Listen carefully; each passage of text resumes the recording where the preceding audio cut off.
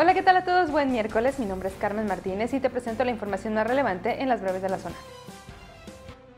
De acuerdo a lo que reporta el Secretariado Ejecutivo del Sistema Estatal de Seguridad Pública, las carpetas de investigación que la Fiscalía General del Estado abrió de enero a octubre en este año en Guanajuato han alcanzado un número histórico al contabilizar un total de 209 expedientes por extorsión.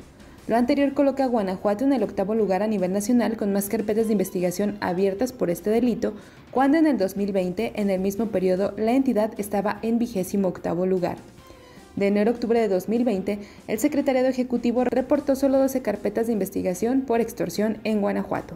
El nuevo sistema de justicia laboral es compromiso del Poder Judicial del Estado de Guanajuato. A partir del 3 de noviembre, a fin de que las personas usuarias de los servicios judiciales cuenten con espacios dignos y accesibles, se establecen los cuatro centros de justicia laboral ubicados en Guanajuato, Celaya, León e Irapuato. Conoce su ubicación en www.poderjudicial-mediogto.gov.mx, Poder Judicial del Estado de Guanajuato. Aunque el aborto está penado en Guanajuato a través de la norma 046, la Secretaría de Salud ha asistido a 36 interrupciones del embarazo por violación en los últimos cinco años. Según una respuesta de la Unidad de Transparencia, la dependencia indicó que han atendido cinco casos en 2017, tres en 2018, nueve en 2019, nueve en 2020 y 10 en lo que va de 2021. En este último año, de las 10 solicitudes, cuatro son de León, una en los municipios de Valle de Santiago, una en Guanajuato, Irapuato, San Miguel de Allende, Villagrán y Yuriria.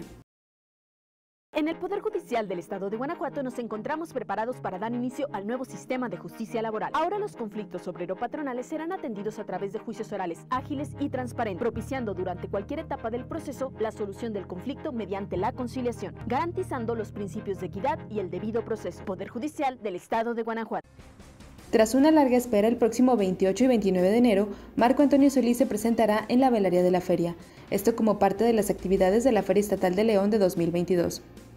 Los boletos para los conciertos de El Buki estarán disponibles a partir de mañana a las 12 del día en eventos Ticket One, las taquillas del Hotel Holiday Inn en Plaza del Zapato y Holiday Inn Suites de Plaza Mayor.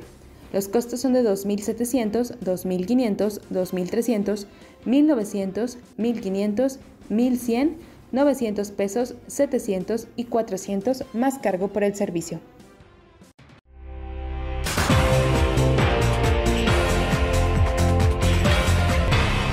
Quédate pendiente de todo nuestro contenido y no te olvides de leernos en zonafranca.mx.